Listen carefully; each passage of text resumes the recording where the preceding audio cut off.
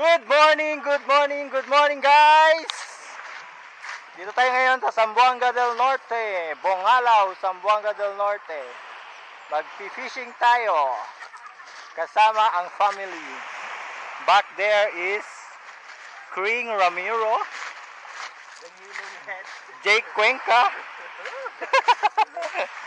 so guys, dito tayo dun sa Malapalawan na view. Eto guys, naglalakad na kami. Nagpi-picture-picture taking na sila doon. So, update-update lang doy. Dito na kami, naglalakad papunta doon sa Malapalawan na scenery. Dito pa lang oh. Dito pa lang oh, pakita nyo may mga caves, caves. And ibang, iba't ibang rock formations. My God! Kung makita niyo sila, manghang-mangha na sila sa lugar. So guys, magpi-fishing tayo dito. Nag-fishing ako kanina, may huli na ako lapu-lapu. So, try ko pa ulit.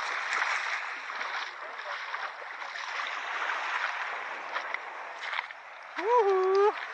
Ganda ng view. oh. Ganda ng view. Ang ganda.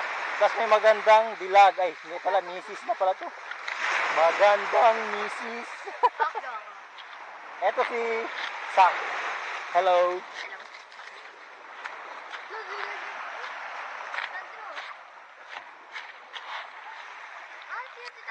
Of heart.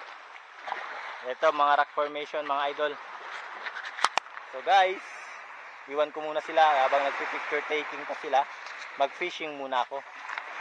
So, ito yung daan papunta sa spot ko. Dito sana kaso may may lambat na nakalatag. So hindi tayo pwedeng maglagay diyan. Syempre masasabit ang ating paboritong lure. So lakad-lakad muna. Lakad-lakad. Dito lang to kung kung isipin nyo. Kung alalahanin nyo, malapalawan na lugar. Nasa Sambuanga lang din. Sambuanga Peninsula. Sakop na siya ng Zamboanga del Norte. Woo, very big rock. Ang taas.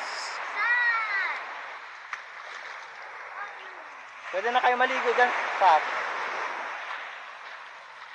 Ako dun. Dun. Dun pa yung ating spot na nakahuli ng lapu-lapu. So let's get it on. Ganda ng view mga idol. Ah, mga idol, ang ganda talaga ng view dito. May net kasi, hindi tayo pwede ditong mag-casting. Oh, may nakalatag na net.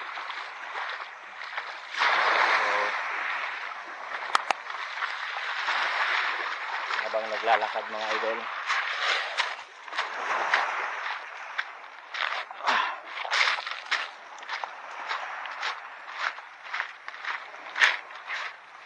Doon tayo sa walang net para at least may mga magagandang huli tayo. Diba? Ito pa yung net oh. Ito. May malak cave cave na area. Yun may cave kasing tabi po. Tabi-tabi po. Makikifishing lang po sa area niyo. Ganda ng lugar mga guys. Pwedeng pang movie.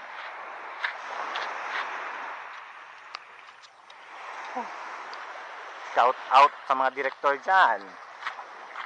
Shout out kay RN TV. RN Adventure TV. Hindi ka nakasakay boss. Kay Idol. Sa mga masugid na taga-subaybay ng video ko. Diyan sila. Yung laging may comment sa video ko. Ah, wag naman natin kalimutan mag-subscribe mga idol. Subscribe sa aking channel para makatulong din sa ating tourism. So doon tayo nang galing guys. Doon.